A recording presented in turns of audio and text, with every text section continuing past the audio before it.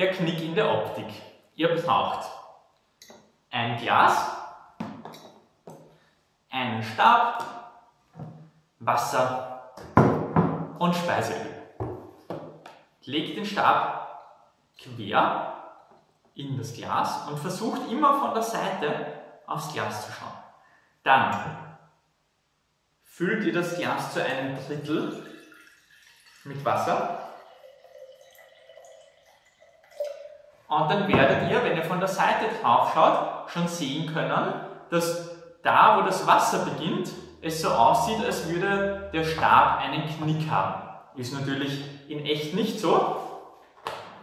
Dann könnt ihr noch Wasser, äh, Öl drauf leeren. Auch wieder zu einem Drittel mit Öl füllen.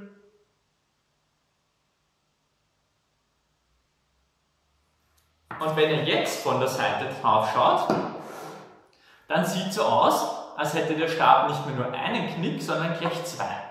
Einmal knickt er da ab, wo das Öl beginnt und ein zweites Mal knickt er dort ab, wo das Wasser beginnt.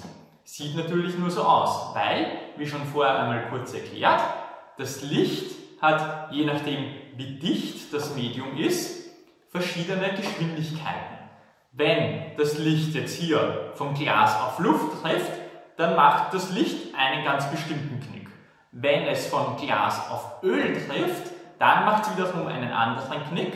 Und wenn es von Glas auf Wasser trifft, auch da macht es wiederum einen anderen Knick. Das heißt, das Licht vom Stab zu euren Augen nimmt je nachdem, womit das Glas gefüllt ist, also Luft, Öl oder Wasser, nimmt es einen ganz kleinen anderen Weg und dadurch sieht so aus, als wäre dieser Stab geknickt.